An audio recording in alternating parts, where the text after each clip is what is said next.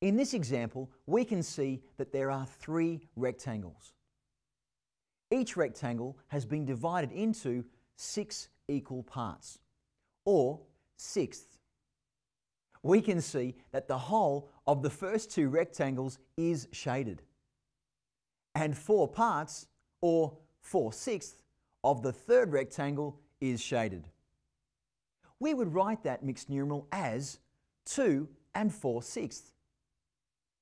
Let's now look at the same example, only this time, instead of expressing the number as a mixed numeral, we will write it as an improper fraction. Here's the last example.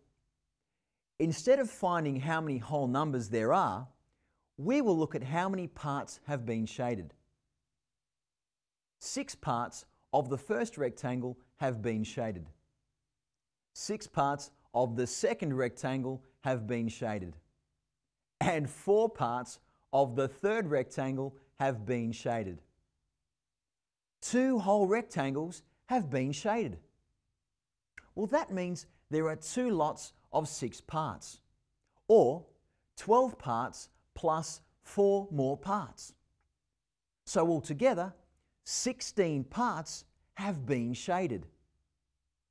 We would write that as 16 parts out of 6 equal parts. Looking at 16 sixths, what do you notice?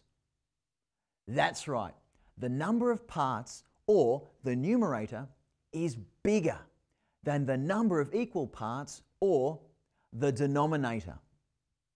That is why this type of fraction is called an improper fraction.